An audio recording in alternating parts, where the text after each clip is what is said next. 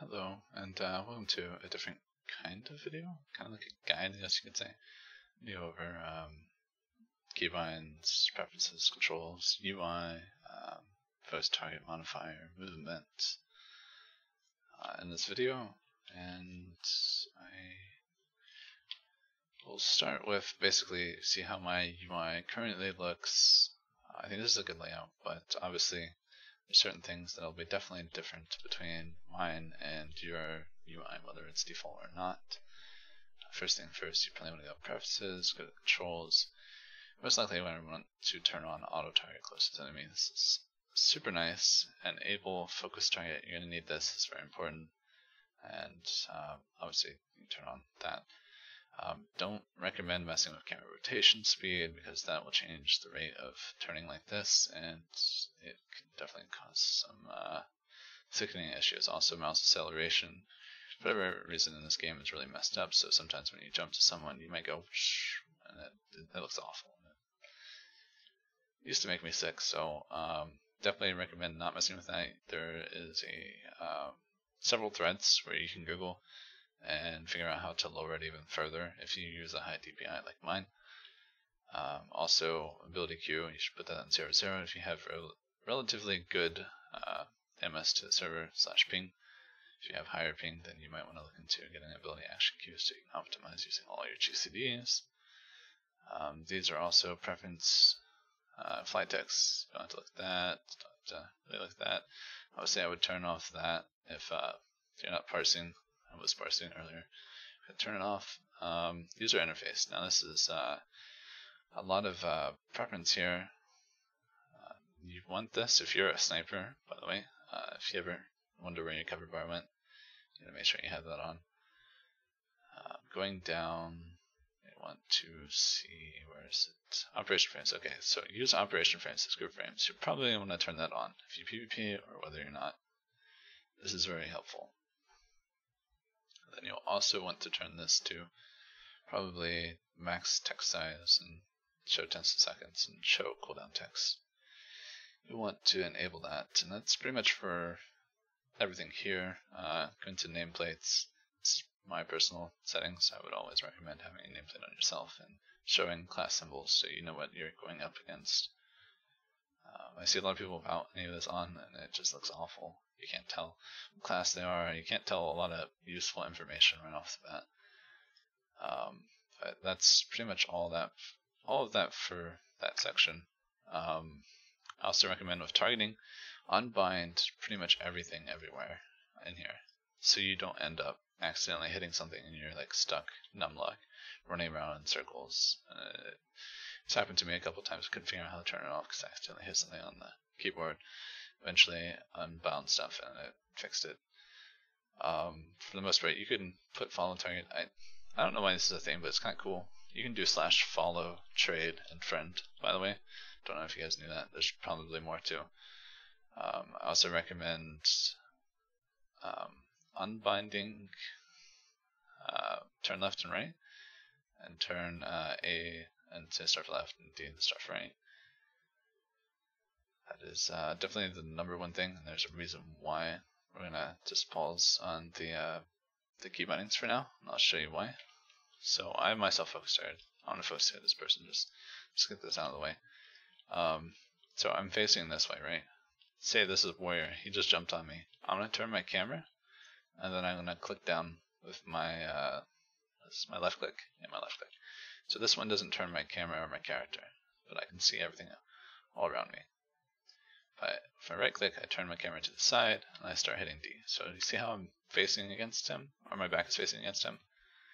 That is a way to maximize your kiting, but also still being able to hit him because he's technically in your field of view.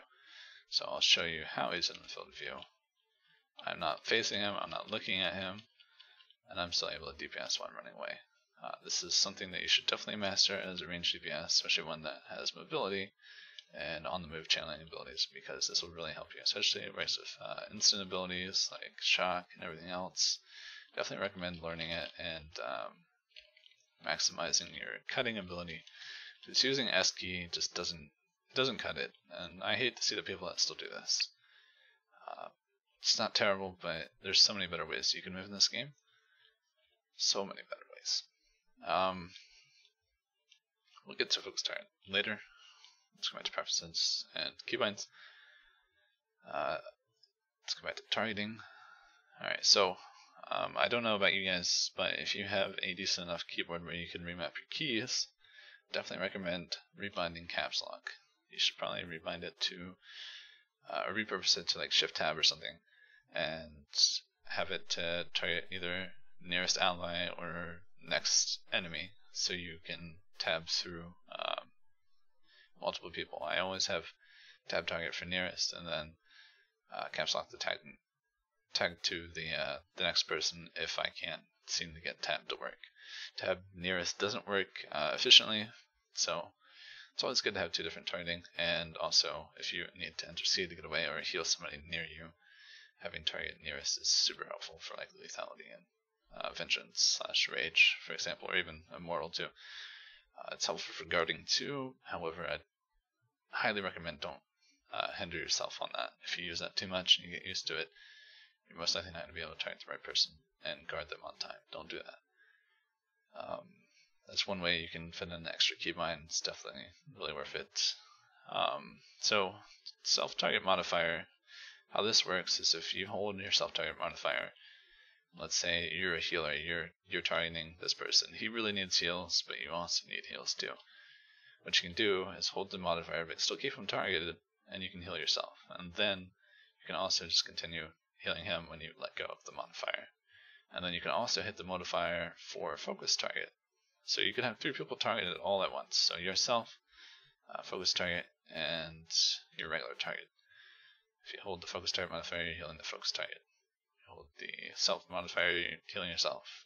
You leave your targeted without any modifiers, you heal them. So that's pretty nice. It's technically two people at once, not three.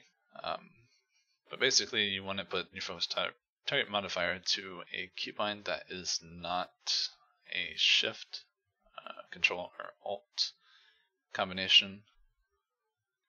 And why you want to do that is because they won't write together. So let's say this is shift number 4. Every keybind has to be shift combination for it to work while you're holding uh, number shift number 4 down. Otherwise it won't work. So they all have to be non-combinations. That means you can use all of your numpad all of your home, your arrows, your F keys. You can use all that good stuff as long as you're not using any combo keys, and it'll work just fine. Um, there's a lot of keys to use. Uh, Naga, highly recommend for this uh, scenario. Getting used to a Naga, I would say just use your regular keybinds and just bind things to your mouse. Once you get used to using your mouse, then change those binds to like numpad keys, and then you've successfully eliminated uh, all your awkward keybinds. Um, also then being able to optimize modifiers. Uh, they're very useful. Definitely recommend using them. Uh, I haven't played Sorc in a while, so I haven't maximally optimized my keybinds. Uh, however, in 6.0 I will be going to, and I'll probably go into a pretty in-depth guide over this class because I used to main it. I don't main it anymore, but uh, 6.0 Sorc's going to be pretty strong, so I'm going to have some fun playing it. Um, definitely recommend unbinding everything that you don't need it makes a huge difference. Um, also, this I never reset that, but if you have Shadow Play, uh, Alt Z is the default keybind to open Shadow Play. So if you want to toggle your interface, you probably want to change that. Um, most of these I either unbound or rebound to a shift combination. Most of these I don't need to use because I just use the menu here on the left hand side. Um, camera, you know, that's useful, yes. But uh, going from there, I want to show you exactly how focus target works. So my target is this guy, or no, my focus target is that guy. This is my target. So I'm going to DPS this person. Let's say this is a huge clump of warriors, and this is a healer that I need to kill. If I hold the focus target, I then can AoE the huge clump of warriors, and then I can continue to DPS. So obviously I hit that modifier next in there. Continue DPSing there. And then I hit the modifier, hit them, hit the healer, and you know, it's it's a little wonky with these guys because they get out of combat, but for the most part, if you have two different targets, you can maximize hitting two different targets and applying pressure on two different people, which is really nice. Something that you shouldn't get used to, and obviously you can kick too, which is great. You can also, uh, here, let's do this right. You can also do a whirlwind. So I'm targeting this person, but I just whirlwind that one because that's my focus target. Uh, it's very important to do, very uh, useful as a range to master, along with the, the movement. Focus target is super useful. Um, as a tank, target of target. So when I hit this, you see the target of target. This is how you know if you've lost aggro or um, they just swap targets or somebody else pulled aggro off of you. Target of target is something that you should pay attention to as a tank if you're a tank and you're playing PvE. Uh, also, it helps you tell who they're hitting, so you can like guard. You can take target of target. You can set that bind up. Uh, there is a bind for taking target target, so if you just target somebody and then always just take their target, you can guard that person. You basically always guard who they're hitting, but always keep in mind that they can just use focus target and have a fake target and just DPS the the focus target the entire time, as long as they hold it down. Um, so don't be too lazy about that. Um, what else did I want to get? Got keybinds for the most part, preferences, we got controls, we got UI. Uh, no, we didn't go too much into UI, so I'll show you some things with UI. Post type modifier we did, movement we did.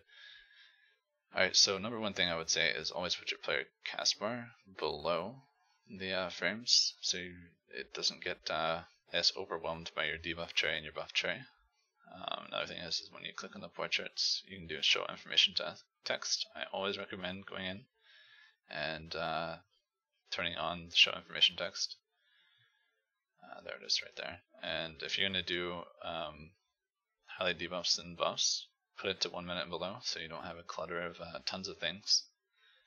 Uh, you can also do this for target of target and focus target, so you can also see the uh, information text on them.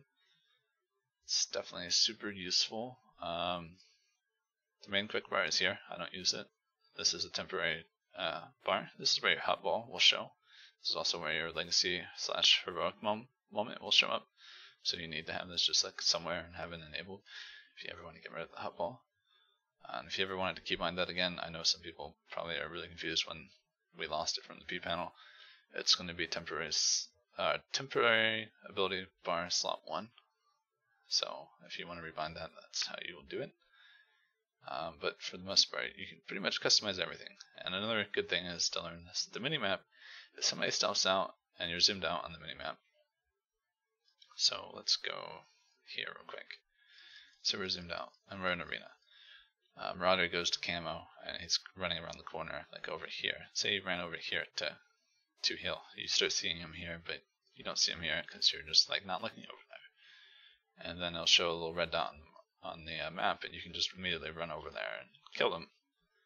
Uh, it's one thing that you can look on your map to try to figure out where people have gone. Uh, definitely something you should learn as a ranked player. Um, what else with the UI can you do? System messages. This is another thing. This usually has in the middle of your screen. It's the red text that nonstop spams you. It's really annoying. Personally, some people need it to know when something's ready or not. Personally, I don't like it. I just move it out of the way. Sometimes I disable it, but most of the time I just move it out of the way because it doesn't need to be in your face for the most part. Um, I also edit my operation frames to only show two groups instead of the full amount because I usually only PvP. I don't care about the raids, and if I do a raid, I don't want to do more than 8 man. That's just personal preference. You can edit this however you want. Uh, however, you only do PvP, I would definitely recommend optimizing it to only two groups so you can optimize the space that you have on your screen. It's very useful. Um, a combat state is here. This, is, this should be somewhere uh, important. So you can always use your um, regen, so you know when you're in and out of combat. It's very important. But uh, going into, for the most part, you can change this so you can go to all, you can see everything. UI related, and then you can go to like Warzone. You can see all the Warzone stuff. I have arena scorecard here. That's just personal preference. But you can move everything however you want. I usually move it a little bit out of the way so I can see my quest if I'm tracking my quest. Usually I don't track my quest, but sometimes I do. Uh, when they're new, I track them, but when I've known them for a while, I just stop tracking Holocom is something that you usually only need in stories, so uh, I would enable it, just put it wherever, I guess. Doesn't really matter. group frames, if you don't use operation frames, this is, you know, obviously editable too. You can put uh, show information text on these guys too, I think. Yeah, you can. However, I've just never used group frames pretty much ever. So, um, definitely recommend making that change. And also, you can snap off this tooltip from the uh, map, but the map is still useful. I just don't see a reason to unsnap that. Is always useful. Um, another cool thing is, um, let's show you that real quick. Where's my temp temporary? Here's the quick bar that I usually use for. Okay, so I usually put on uh, abilities here when I am learning something new where just my muscle memory is failing and I can't remember uh, like the cooldowns of certain abilities. You can put important abilities on here. And you can obviously change this to be like sideways, or you can like make it only at three abilities, and then you can turn the the fade down so you can barely see it, and you can have it like here or something. And uh, with that, you can basically uh, see the cooldowns of your abilities without technically looking down here. You can just see them at all times, like directly in your line of sight. I have them faded. Uh, you'll still sadly click onto them and drag them off uh, if you don't have your key, or not your key one, but your slots locked, or even locking your slots. But if you switch your spec a lot, there's no point in locking it. Um, but it's still incredibly useful. It's something that I used for a long time that really helped me but I don't use it anymore because I don't really need the muscle memory practice anymore because I just play this game consistently. Um, but for the most part, I think I covered everything. If you guys have any questions or anything else that you want me to cover or just help in general, I'm more than happy to help. I'm usually always available at some point within 24 hours to probably respond. Um, I will be making, uh, what do you call it, guides coming 6.0 and probably more videos like this as a whole to help you guys. I really would like to see the population grow and not only that, just kind of like be better and kind of understand what's uh, coming from other classes and how to play against it. So it would be nice to have really good matches again. Most matches now are uh, definitely a shell of what they used to be, and it's it's okay. This game is still incredibly fun, and that's why most people still play it. but I know that everybody wants to uh, be good at the, the game they play. And personally, I just find that a shame. But nonetheless, um, PTS, uh, if you're watching this in the future, this probably has uh, no relevance. PTS uh, balancing phase is supposed to start next week, uh, or basically not next week, but this week, and that means that hopefully we'll be actually actually able to test things for free and actually give feedback. So I highly recommend if you haven't downloaded PTS to do it now and test things out. We need players, we need people to PvP. You know, they just need bodies to test things out and say, hey, this isn't working, this doesn't work at all, or hey, this is a little too broken, etc. All this stuff just helps a lot. And if we don't, then you know somebody might grind for something and it doesn't work. And that would suck. But uh, nonetheless, I'm not gonna keep you guys any longer. I appreciate you guys for watching, especially if you watched all of it. Um, but nonetheless, I will probably have another video next week. If not, I'll try to get to you guys sooner. I do have some lightning footage that I should upload. I've been sitting on it for so long, so forgive me for not uploading it.